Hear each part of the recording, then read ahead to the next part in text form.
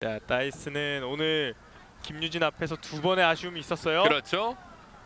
따이스 차분하게 밀어넣으면서 두 번째 골 결국 현대제철이 한 점을 앞서갑니다.